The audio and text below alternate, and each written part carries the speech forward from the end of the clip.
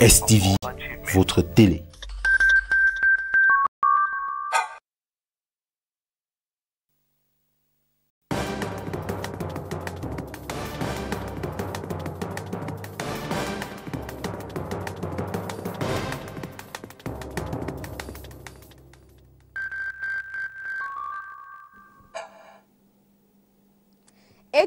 News on STV, one headline.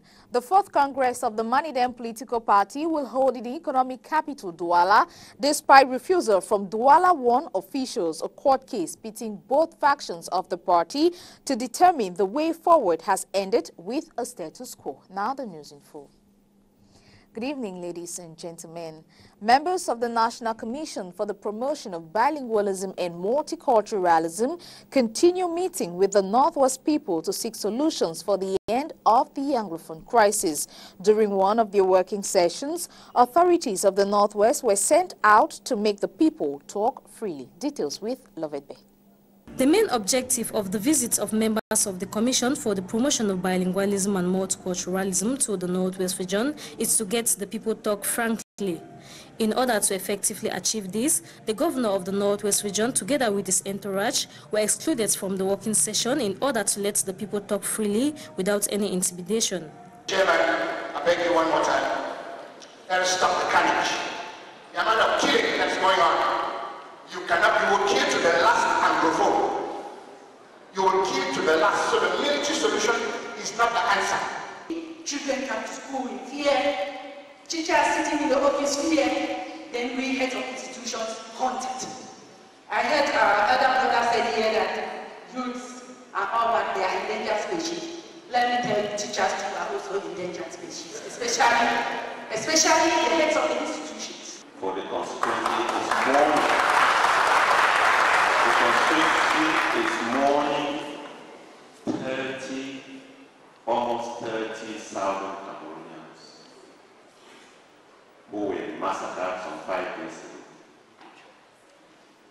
massacred some five days ago.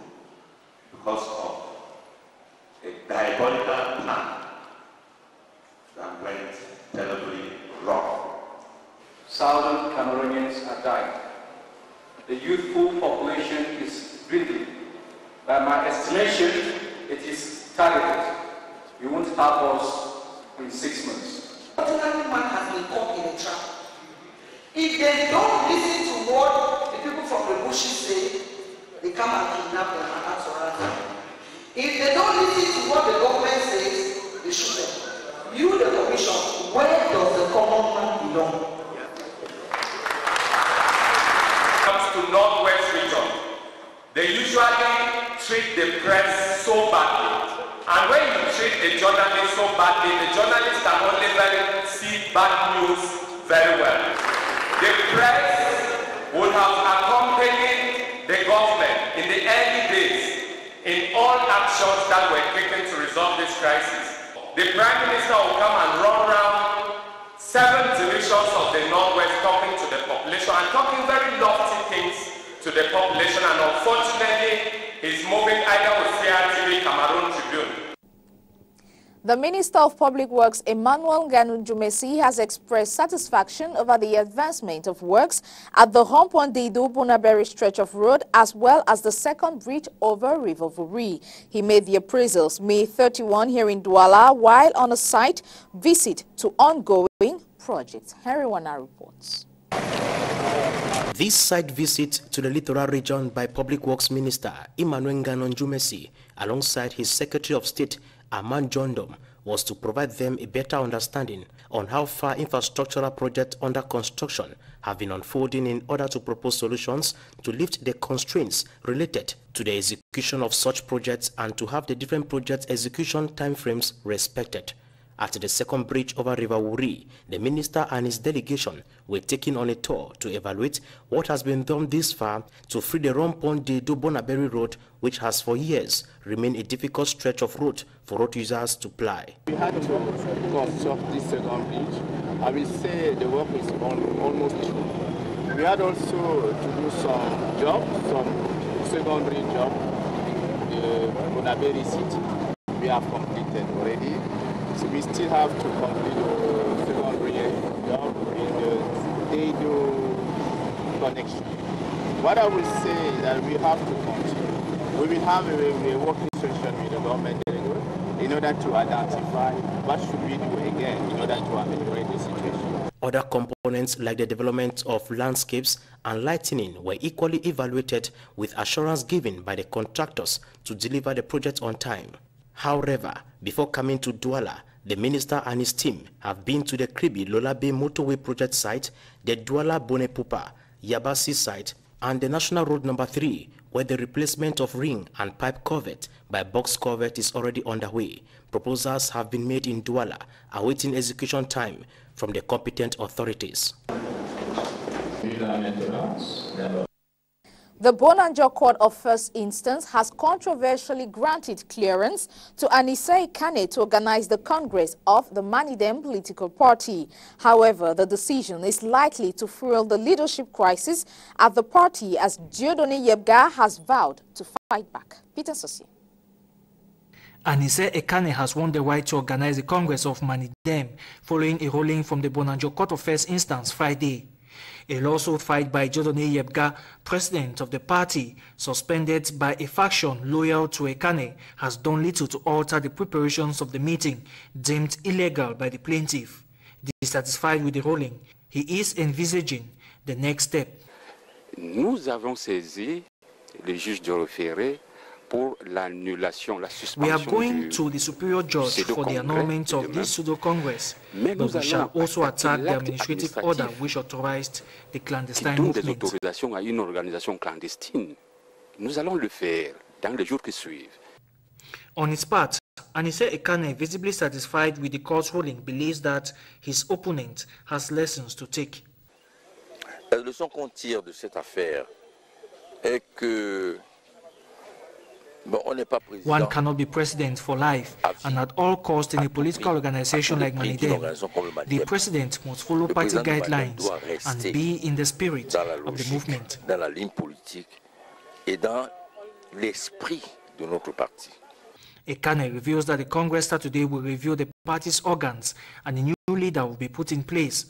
However, the battle is far from over as Dieudonné Yebga has vowed to fight back. He believes that his rival is working with administrative authorities against him. The Cameroon Female Association for Development is calling on Cameroonian women to invest in the political train in Cameroon for the realization of developmental projects in their country. This was during her second national forum that took place in Douala today. Henry Wana reports.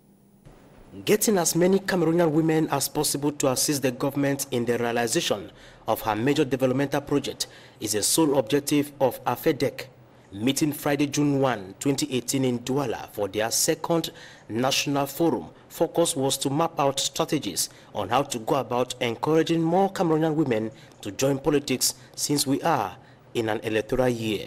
C'est juste que nous nous sommes rendus compte qu'autour de nous, il y a des femmes qui ne savent pas qu'elles doivent euh, s'intéresser à la politique. Recent findings have revealed that even the few women already into politics, very few of them do make an attempt going into elections.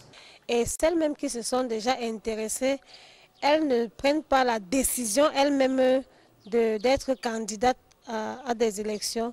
Thus, a seminar of this magnitude, grouping politicians, political sympathizers, as well as physically challenged, according to the national president, Nadej Mapugwe, should serve as an eye-opener for no Cameroonian woman to be left indifferent joining the political train. et les personnes aussi handicapées, ces personnes pourront, dans le, dans le cours de temps, s'intéresser à la politique, devenir des candidates. However, with just 31 female mayors out of the total of 370 in the country, there is no doubt a dire need for more women to get interested in the political sphere of the country and get themselves registered into the electoral register. For sure, sensitization campaigns may be multiplied, rallies organized nationwide monthly by civil society organizations to encourage Cameroonian women in joining the train. But one thing is certain, the 52% female population in Cameroon has the final say, either making their voices heard or continue to remain as hand clappers. A mutual guarantee fund has been created to assist small and medium-sized enterprises have access to finance piloted by the subcontracting and partnership platform BSTP. Its creation follows a consultative general assembly today in Douala. Peter Sosie. Small and medium-sized enterprises in Cameroon contribute enormously to the economic tissue of the country, but one of the impeding factors to their growth and efficiency is difficult access to finance. For the SMEs is a lack of money. They don't have money to to put in place to realize their objective and to put in place really their projects. This setback is further compounded by the inability of banking institutions to effectively evaluate the financial needs of these enterprises. To strengthen their financial capacities, the subcontracting and partnership platform has designed a mutual guarantee fund with the hope of ameliorating the collaboration between them and banks. What We are putting in place as a company is a mutual uh, guarantee company so that small and medium-sized enterprises will put together a part of the guarantee fund and we will work to mobilize other financial partners who will consolidate that guarantee fund. A consultative General Assembly Friday in Douala has capped a six-month training session in which actors have been schooled on all aspects concerning the fund. A supervisory body has been elected to ensure the smooth functioning and coordination of the scheme. So today we put in place the company, uh, we put in place the different offices, and now we are supposed to start working next week. Attractive sectors to the Mutual Guarantee Fund include production and manufacturing, agriculture and livestock, trade, tourism, and ICTs. The initiative is backed up by the Ministry of Small and Medium-Sized Enterprises, Social Economy and Handicraft, as well as the European Union. Some Douala city dwellers decry traffic in some strategic areas in town due to events. Between Friday and Sunday, circulating around the city is rather complicated. Henry Wana. Driving within the city of Douala on a Thursday, Friday or Saturday is never very easy especially in areas like Carrefour Agip and Feu Bessengue, just to name but these. It is either for a wakekeeping or simply a celebration that most roads in the heart of the city are being obstructed by organizers of such events, which consequently leads to traffic congestion and conflicts between road users and those who block them, a phenomenon which denizens of the city are not contented with. Il ne peut pas se passer un mois sans qu'il ici au niveau de Jérusalem là. Et une fois ils ont barré là-bas. We cannot go for a month without having a blockage along this stretch of road from Carrefour Bessengue going down to Ndokoti. A situation which at times lead to accident. In the morning, the road will be segmented into two canopies planted on one side and the other free for circulation. But in the evening, the road is completely blocked. In such a situation, we are forced to use the other side of the road. I think this system of blocking the road for wakekeeping or other events is of no importance because it leads to a lot of road accidents within the city. For if one side of the road is blocked, road users are forced to use the other side of the road which is not too big to accommodate the number of road users we have in the city. Perhaps this could be the needed solution to solve this issue rocking the city of Douala. I think Douala has a festival hall well equipped to host any kind of event or other halls in town affordable for people to rent to carry out wedding or funerals.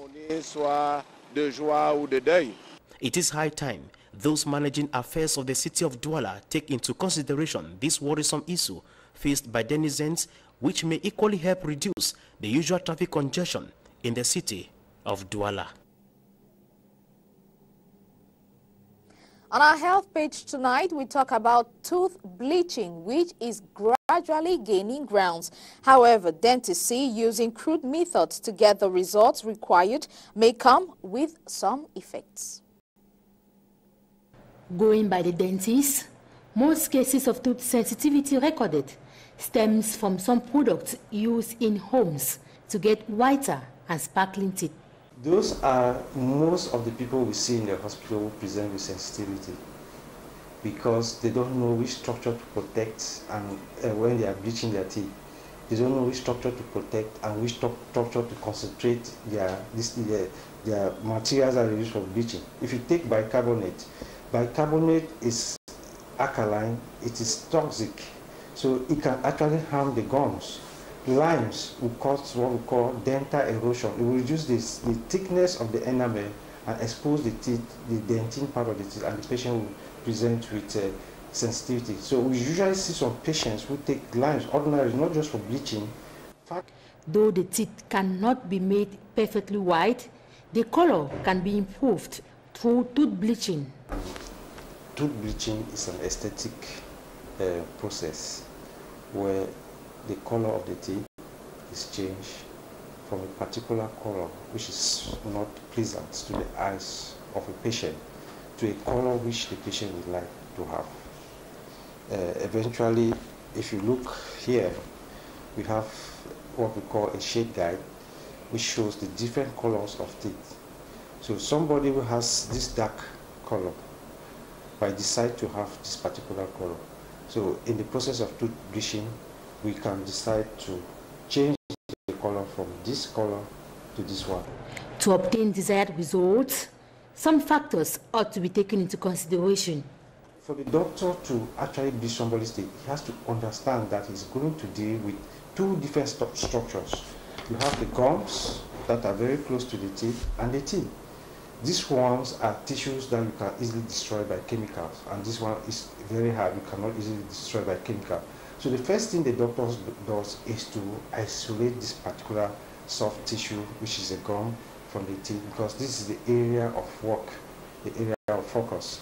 Isolate this one and apply some chemicals to either actually neutralize the chemical that is going to apply here. So when he applies this one now, uh, applies the actual chemical on the, the surfaces of the teeth, he can use light, particular light, to activate the chemical and reduce it. Patients could be faced with severe complications if the bleaching process is not handled professionally. If you are not experienced enough to isolate this, these gums from the teeth, the chemicals can burn the gums. So after the bleaching, the patient will be subjected to severe pain that can take from a week to a month because the, the patient will suffer from what we call chemical burns. And then the second one is that the gums can reduce in, in, in size and the teeth become longer, what we call gingival recession. And then the neck of the teeth will be exposed and then the patient will have what we call sensitivity. Another one is that the, the, the bleaching material can stay on the teeth for long and then create some small, small holes on the teeth. And when the patient takes some something that is cold or hot, he starts feeling some shock, it's still sensitivity. And then another complication is that the teeth will not bleach. Dental surgeons say the color of the teeth depends on the complexion and we should abstain from products like tobacco, color nuts, dark drinks, African beads are being introduced into the Cameroon fashion world with items such as sandals, sepals and necklaces in markets. In most parts of the southwest region, this fashion style is common among youths. Pelagie Ekweni reports. Fashion, which is a popular style, especially in clothing, footwear, lifestyle, products, accessories, makeups, hairstyle and body is incredibly idealistic. Sometimes, nothing gets more exciting than the premise of exposing one's toes to a well-deserved airing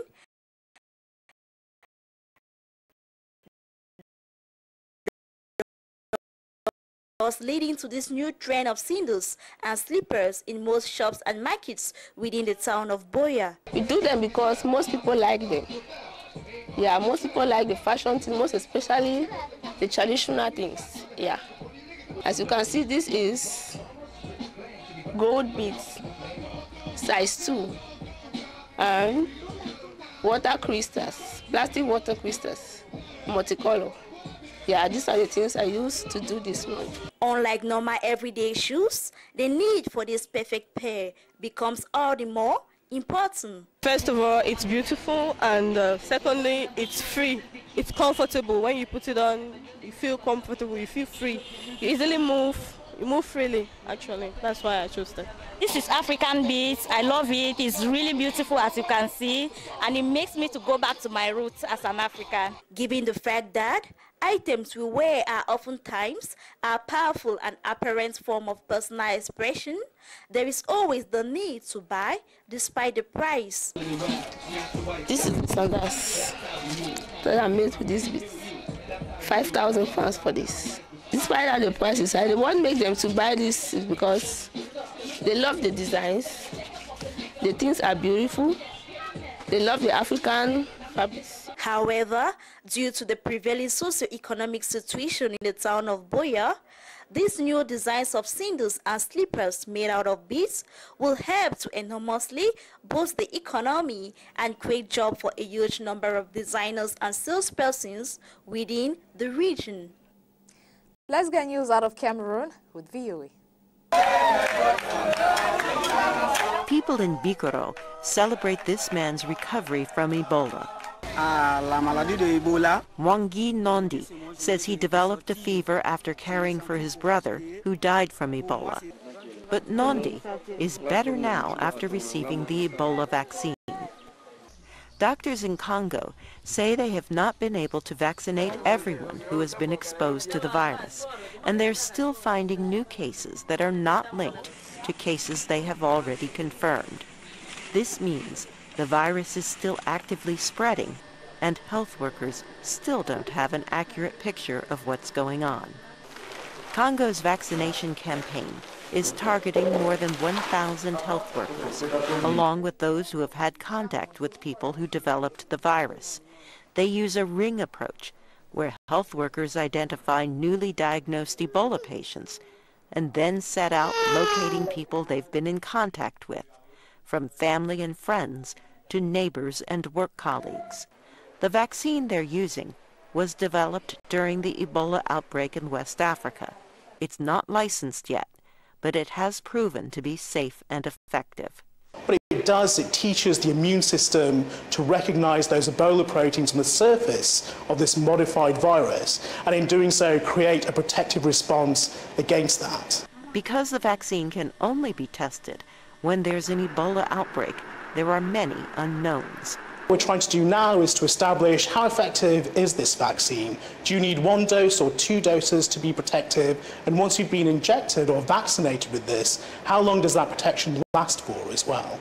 Containing the virus is difficult because many areas impacted by the outbreak are close to heavily used waterways.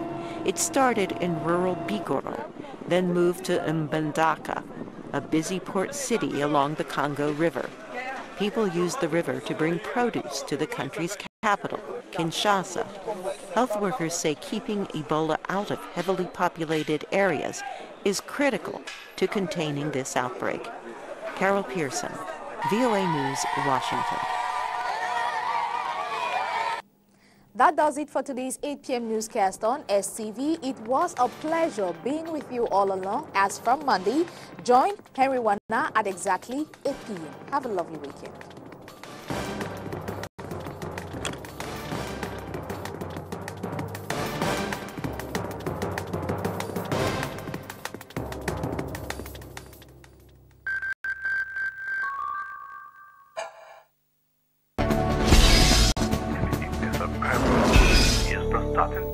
STV, votre télé.